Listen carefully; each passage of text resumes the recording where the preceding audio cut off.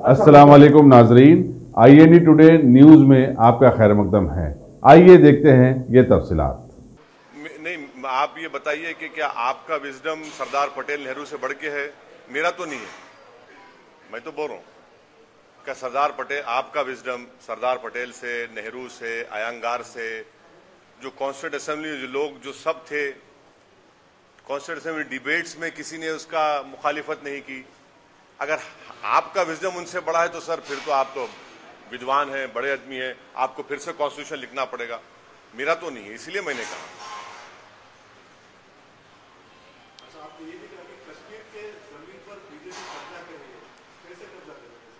नहीं मैंने ये कहा कि कश्मीर से ज़रूर मोहब्बत है मगर कश्मीरियों से नहीं मैंने ये भी कहा कि आपको इकतदार से मतलब है इंसाफ से नहीं है। मैंने ये भी कहा कि आपको पावर से मतलब है, खिदमत से मतलब नहीं है। वो इसलिए कि क्या हमारा फंडामेंटल राइट्स आर्टिकल 19 और 20 में लागू नहीं होता वहाँ पर तो आप 80 लाख लोगों को बंद करके रखेंगे। ये इमरजेंसी है क्या ये? ये तो इमरजेंसी की याद दिला रहे हैं आप। मामूली बात नहीं है ना? ये अलग बात है कि गवर्नमेंट की बीजेपी के सपोर्ट में बाज जो लोग हैं जिनको हेलीकॉप्टर में भी बिठाया जाता है दूर दूर लेकर जाया जाता है, उनको इंटरनेट कनेक्शन मिलता है, मगर 80 लाख लोगों को आप टेलीफोन भी करने नहीं देंगे। एक फंक्शनल डेमोक्रेसी अगर साउथ एशिया में है तो इंडिया है। और आप वहाँ पर आप ये काम कर रहे हैं, और आप बोल रहे हैं कि नहीं, सब सब खुश, मना, खुशी मना रहे हैं। भाई जब फूलों में बहार है, आपके आँगन में बहार है तो टेलीफोन करने दीजिए ना। ये दुनिया दुनिया में कहाँ पर होता है कि आप 300 टेलीफोन बूथ लगाएँगे और लोगों को बोलेंगे आके बात कर लो। ये हमारी डेमोक्रेसी की कामयाबी है क्या? हम हम सरकार से पूछना चाहिए हमारी डेमोक्रेसी की कामयाबी है क्या? क्या क्या कंडीशन है बताइए? कौन सा कंडीशन है? आ, आ, आप एक बात याद रखिए। आप फंडामेंटल राइट आर्टिकल 19 और 21 को नहीं छीन सकते आप। नहीं छीन सकते। ये सरकार जो है कॉन्स्टिट्यूशनलिज्म को भूल चुकी है। कॉन्स्टिट्यूशन है, मगर कॉन्स्टिट्यूशनलिज्म को ही मानना पड़ेगा। रूल ऑफ़ लॉ को मानना पड़ेगा, मगर ये सरकार जो है रूल बाय लॉ कर रही है। हाँ हाँ। नहीं, आरोप लगना नहीं बात नहीं है, वो लगता है।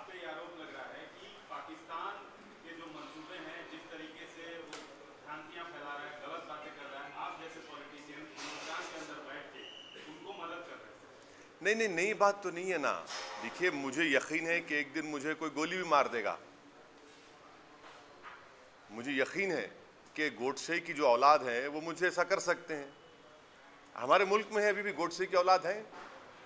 जिस तरह अगर महात्मा गांधी को गोली मारी तो ओसी का क्या है भाई? इल्ज़ाम तो मेरे, जब तक मैं ज़िंदा रहूँगा, लगता रहेगा। मैं अपनी बात क्या कह रहा हूँ? मैं कल अपनी स्पीच में कहा, मुझे पाकिस्तान से मतलब नहीं है। मगर क्योंकि आपके टीआरपी को लगता नहीं है तो आप नहीं दिखाया उसको। मैंने कहा था ना कल, मैंने क्या कहा संविधान के खिलाफ है, आर्टिकल वन के खिलाफ है, आर्टिकल थ्री के खिलाफ है। मैंने ये भी कहा कि प्रेसिडेंट ऑफ़ इंडिया को ये नहीं करना चाहिए था कि बग़ैर उस रियासत की असम्बली को पूछे। प्रेसिडेंट ऑफ़ इंडिया ने बाइफर्केशन की इजाज़त दे दी। मैं संविधान की बात कर रहा हूँ, मैं नेहरू की बात कर रहा हूँ, मैं सरदार पटेल की बात कर रहा हूँ, मैं अयंगार की बात कर रहा हूँ। मैं पाकिस्तान की बात तो मैंने कहा कि मुझे मत, मतलब ही नहीं है उससे। मगर इसके बावजूद भी इसके बावजूद भी जो दरबारी किस्म के ग़ुलाम हैं जिनको लगता है कि ओवैसी को गाली देने से मोदी के गुड बुक्स में उनका नाम आ जाएगा तो मुबारक हो। और, और दीजिए देखिए ये मेरा आर्गुमेंट क्या है जो मैंने पार्लियामेंट में भी कहा ये संविधान के खिलाफ है। क्या आपने रियासत जम्मू कश्मीर के असम्बली से पूछा? नहीं पूछा। क्या आपको इख्तियार आर्टिकल थ्री में नहीं है? और हमने एक एग्रीमेंट का वायलेशन किया है। उस एग्रीमेंट का जिस पर सरदार पटेल के, नेहरू के, अयंगार के दस्तखत हैं, ये ब्रीच ऑफ़ कॉन्स्टिट्यूशनल प्रॉमिस है। अगर मैं इन मुद्दों को उठाता हूँ, और मैंने ये भी कहा कि सुप्रीम कोर्ट के दो जजमेंट से 2016 का और 17 जिसमें एक बेहतरीन जजमेंट है, जस्टिस रोहिंटन नरीमन का, पढ़ लीजिए। उन्होंने कहा कि टेम्पररी मेजर नहीं है परमानेंट है। अब बार बार अगर इसके बावजूद भी अगर आप मुझे एंटी नेशनल कहना चाह रहे हैं तो भाई मैं तो आपको मिठाई खिलाऊँगा, हैदराबाद की सबसे बेहतरीन बर्फ़ी खिलाऊँगा, और वह शुक्रिया। मगर ये मुल्क में जो माहौल बन चुका है कि जो मोदी के खिलाफ जाएगा, उसको एंटी नेशनल बोल देंगे। जो इनके गैर अनकॉन्स्टिट्यूशनल चीज़ों पर सवाल उठाएगा, उसका अनकॉन्स्टिट्यूशन कहेगा तो आप कहेंगे, ये किसी और का एजेंडा कर रहा है। कोई फ़िक्र की बात नहीं है। मेरी चमड़ी मोटी हो चुकी है और मुझे कोई फ़र्क नहीं पड़ता। मैं मैं मुझे हिंदुस्तान से मतलब है और रहेगा इन ताला। अब जो लोग खुद एंटी नेशनल है मुझे एंटी नेशनल कह रहे हैं तो कोई बात नहीं।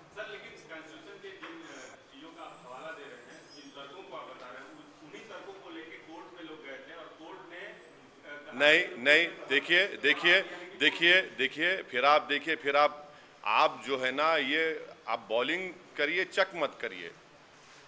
कोर्ट क्या कहा? कोर्ट कोर्ट ने क्या इस इस नहीं, कोर्ट ने ये कह दिया कि ये कॉन्स्टिट्यूशनल है। पूछिए क्या कहा कोर्ट ने? कहा कॉन्स्टिट्यूशनल है बोल के। मैं आपसे सवाल कर रहा हूँ, क्या कोर्ट ने कहा कॉन्स्टिट्यूशनल है या अनकॉन्स्टिट्यूशनल है?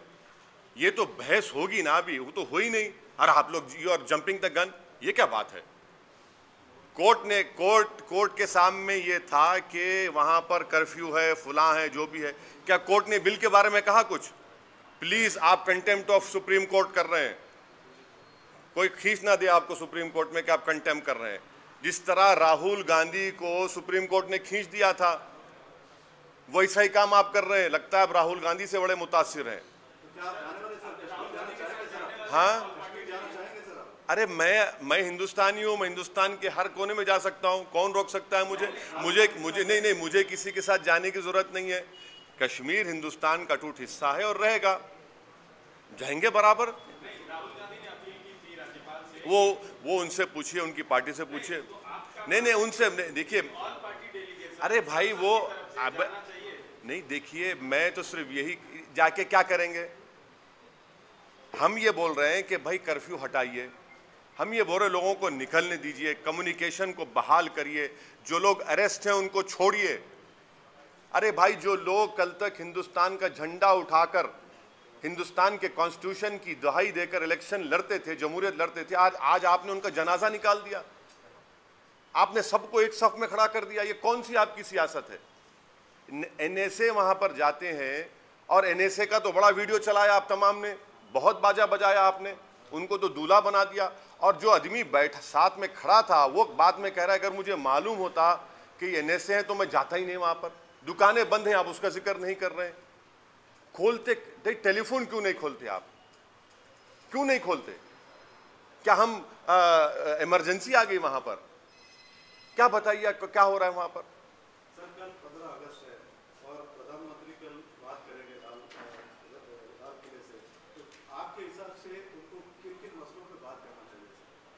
नहीं नहीं, अब वो तो देखिए, प्रधानमंत्री कल एक और एक खूबसूरत पगड़ी पहनेंगे कल। स्टाइल के साथ आएँगे वो। अब मैं क्या बोल सकता हूँ? अब मैं कुछ बोलूँगा तो आप तो ऑलरेडी मुझे कह दिए कि मैं फुला मुल्क का प्रोपोगंडा आगे बढ़ा रहा हूँ। तो भैया, अब हमको तो आप एंटी नेशनल से आप क्यों पूछ रहे हैं? आप लोग तो नेशनलिस्ट वो नेशनलिस्ट अब अब अब क्या करेंगे? हम क्या बोल सकते हैं? क्या बोलेंगे वो? अब बोलेंगे कि मैं अब अब एनआरसी की बात करेंगे। अब वो वो बोलेंगे कि अब हम ऐसा कर देंगे। देखिए, हम एक ही रिक्वेस्ट कर रहे हैं प्रधानमंत्री से कि संविधान इस मुल्क में है। हम चाहते हैं कि प्राइम मिनिस्टर कॉन्स्टिट्यूशनलिज्म को भी फॉलो करें। सिर्फ़ कॉन्स्टिट्यूशन को नहीं, वो रूल ऑफ़ लॉ को समझें। रूल बाय लॉ ना करें। तीसरी बात, इस मुल्क में आपकी जैसी मेजॉरिटी इंदिरा गांधी को भी थी और इंदिरा गांधी को शिकस्त हुई। चौथी बात power is not eternal power खत्म होने वाला है। और वो ख़त्म होकर रहेगा। तो यही चार बातें हैं। अब वो नहीं सुनेंगे उनको लगता है कि भाई ये तो एंटी नेशनल है ये जिसके चेहरे पे दाढ़ी है इसका तो मॉब लिंचिंग हो जाना चाहिए था। तो बोल रहा है बट ठीक है हमारा काम आपने सवाल किया हम बोल रहे हैं वरना मैं बोलता नहीं था। आपने पूछा तो इसलिए अरे वो अरे वो तो बात ही विलन तो हम ही है।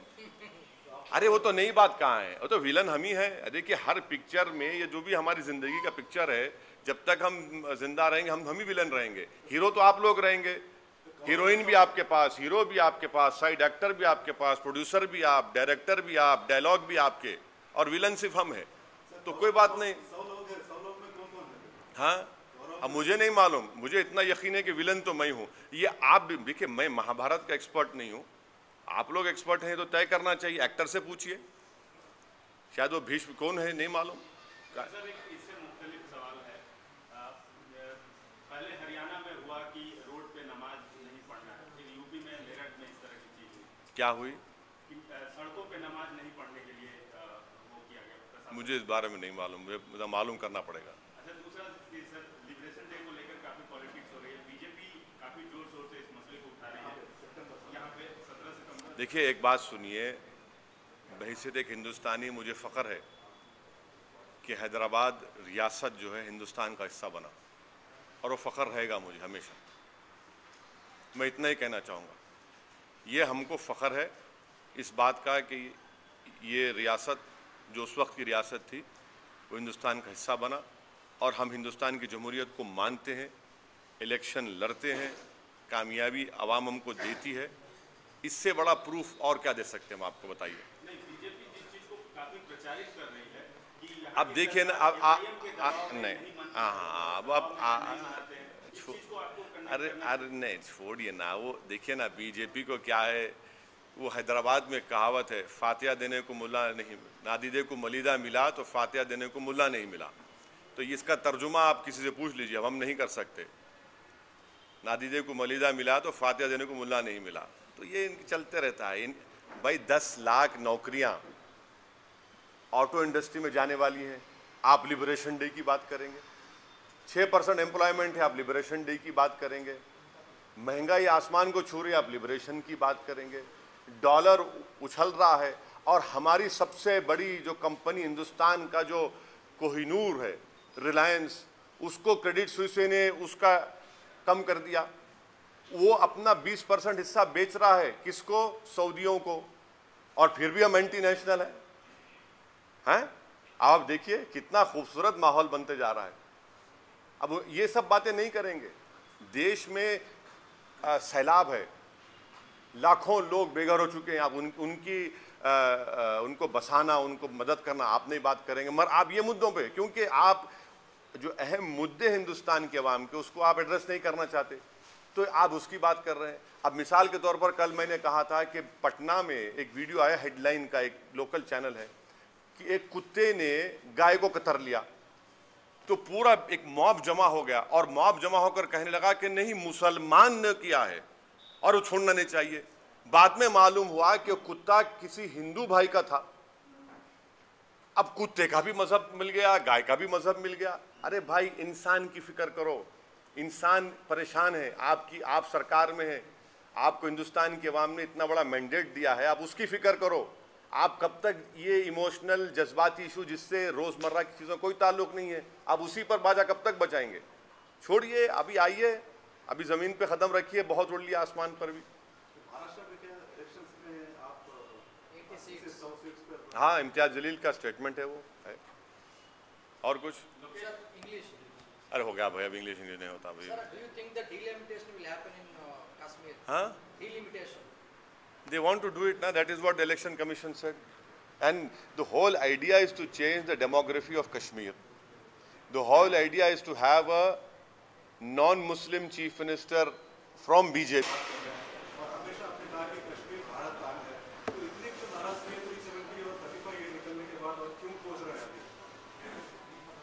नहीं, आप ये बताइए कि क्या आपका विजडम सरदार पटेल नेहरू से बढ़ के है? मेरा तो नहीं है। मैं तो बोल रहा हूँ। क्या सरदार पटेल, आपका विजडम सरदार पटेल से, नेहरू से, अयंगार से, जो कॉन्स्टिट्यूट असेंबली जो लोग, जो सब थे कॉन्स्टिट्यूट असेंबली डिबेट्स में किसी ने उसका मुखालिफत नहीं की। अगर आपका विजडम उनसे बड़ा है तो सर, फिर तो आप तो विद्वान हैं, बड़े आदमी हैं, आपको फिर से कॉन्स्टिट्यूशन लिखना पड़ेगा। मेरा तो नहीं है, इसलिए मैंने कहा अच्छा है।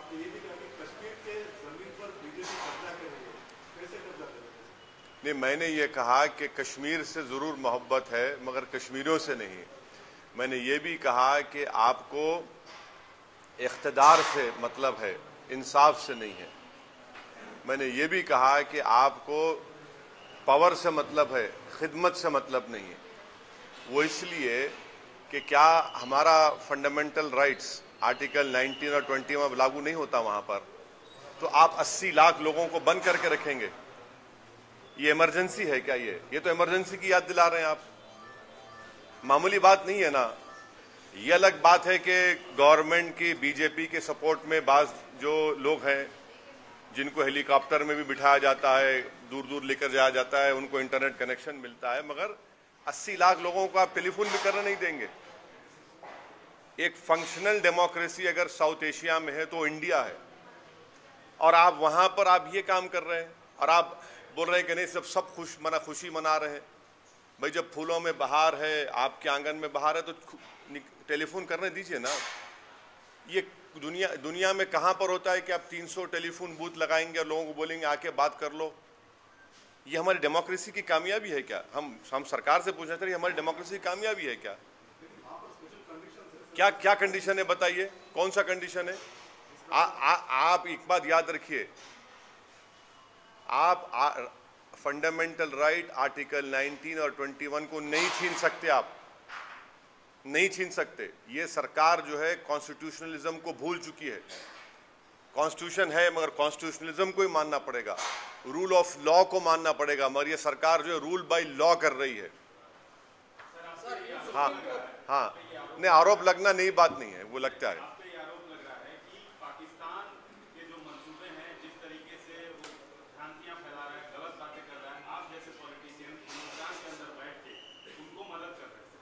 नहीं नहीं नई बात तो नहीं है ना। देखिए मुझे यकीन है कि एक दिन मुझे कोई गोली भी मार देगा। मुझे यकीन है कि गोडसे की जो औलाद है वो मुझे ऐसा कर सकते हैं। हमारे मुल्क में है अभी भी गोडसे की औलाद है।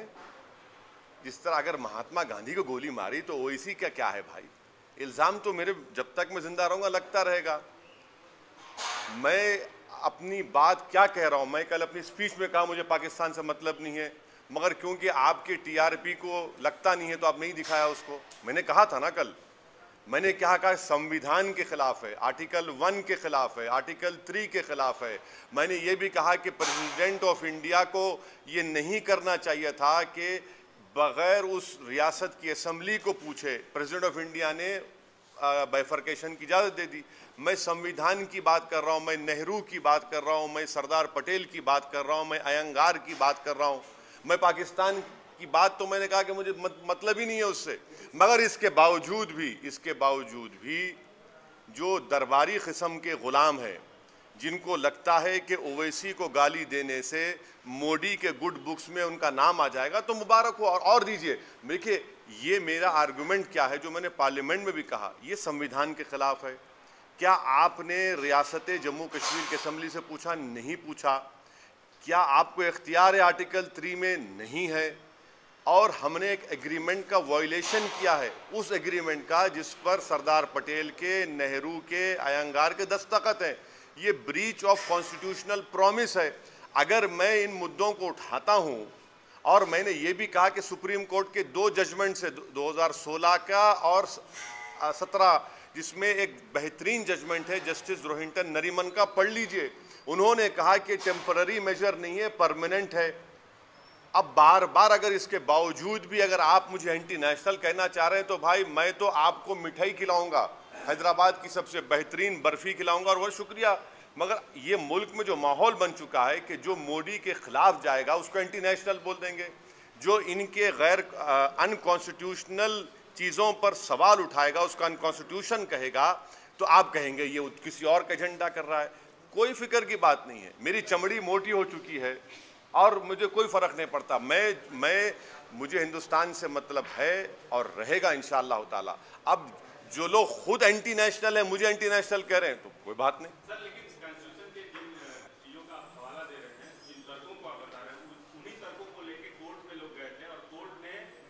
नहीं नहीं देखिए देखिए देखिए देखिए फिर आप देखिए फिर आप आप जो है ना ये आप बॉलिंग करिए चक मत करिए। कोर्ट क्या कहा? कोर्ट कोर्ट ने क्या इस इस नहीं कोर्ट ने ये कह दिया कि ये कॉन्स्टिट्यूशनल है। पूछिए, क्या कहा कोर्ट ने? कहा कॉन्स्टिट्यूशनल है बोल के। मैं आपसे सवाल कर रहा हूँ, क्या कोर्ट ने कहा कॉन्स्टिट्यूशनल है या अनकॉन्स्टिट्यूशनल है? ये तो बहस होगी ना अभी, वो तो हो ही नहीं। और आप लोग you are jumping the gun ये क्या बात है? कोर्ट ने, कोर्ट कोर्ट के सामने ये था कि वहाँ पर कर्फ्यू है, फुला है, जो भी है। क्या कोर्ट ने बिल के बारे में कहा कुछ? प्लीज़ आप कंटेम्प्ट ऑफ़ सुप्रीम कोर्ट कर रहे हैं। कोई खींच ना दे आपको सुप्रीम कोर्ट में कि आप कंटेम कर रहे हैं। जिस तरह राहुल गांधी को सुप्रीम कोर्ट ने खींच दिया था, वैसा ही काम आप कर रहे हैं। लगता है आप राहुल गांधी से बड़े मुतासिर हैं। हाँ? अरे मैं मैं हिंदुस्तानी हूँ, मैं हिंदुस्तान के हर कोने में जा सकता हूँ। कौन रोक सकता है मुझे? मुझे मुझे, नहीं नहीं, मुझे किसी के साथ जाने की ज़रूरत नहीं है। कश्मीर हिंदुस्तान का टूट हिस्सा है और रहेगा। जाएँगे बराबर? वो वो उनसे पूछिए, उनकी पार्टी से पूछिए। नहीं नहीं, उनसे देखिए, अरे भाई वो अब, नहीं, देखिए, मैं तो सिर्फ़ यही, जाके क्या करेंगे? हम ये बोल रहे हैं कि भाई कर्फ्यू हटाइए। हम ये बोल रहे लोगों को निकलने दीजिए कम्युनिकेशन को बहाल करिए। जो लोग अरेस्ट हैं, उनको छोड़िए। अरे भाई, जो लोग कल तक हिंदुस्तान का झंडा उठाकर हिंदुस्तान के कॉन्स्टिट्यूशन की दुहाई देकर इलेक्शन लड़ते थे, जमहूरियत लड़ते थे, आज आज आपने उनका जनाजा निकाल दिया। आपने सबको एक सफ में खड़ा कर दिया। ये कौन सी आपकी सियासत है? एनएसए वहाँ पर जाते हैं और एनएसए का तो बड़ा वीडियो चलाया आप तमाम ने, बहुत बाजा बजाया आपने, उनको तो दूल्हा बना दिया। और जो आदमी बैठ, साथ में खड़ा था, वो बाद में कह रहा है, अगर मुझे मालूम होता कि एनएसए है तो मैं जाता ही नहीं वहाँ पर। दुकानें बंद हैं, आप उसका ज़िक्र नहीं कर रहे हैं। खोलते टेलीफोन क्यों नहीं खोलते आप? क्यों नहीं खोलते? क्या हम इमरजेंसी आ गई वहाँ पर? क्या बताइए क्या हो रहा है वहाँ पर? सर कल पंद्रह अगस्त और प्रधानमंत्री कल बात करेंगे लाल लाल किले से। आपके हिसाब से उनको किन किन मसलों पे बात करना चाहिए? नहीं नहीं अब वो तो देखिए प्रधानमंत्री कल एक और एक खूबसूरत पगड़ी पहनेंगे कल। स्टाइल के साथ आएँगे वो। अब मैं क्या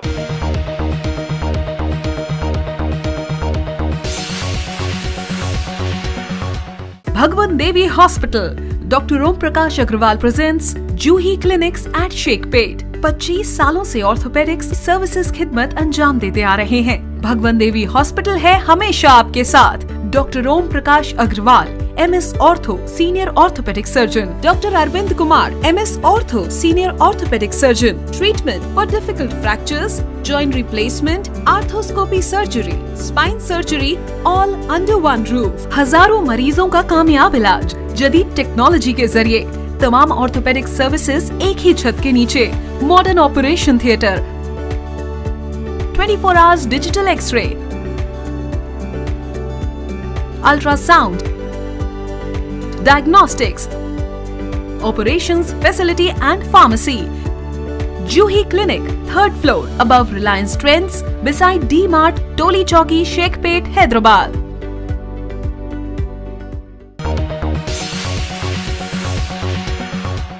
अगर आपने हमारे चैनल को सब्सक्राइब नहीं किया है तो आपको यहाँ सब्सक्राइब बटन दिख रहा है उसे क्लिक करिए और सब्सक्राइब कीजिए और साथ ही साथ बेल आइकॉन को भी क्लिक करिएगा जिससे के आपको ताज़ा अपडेट मिलते रहें।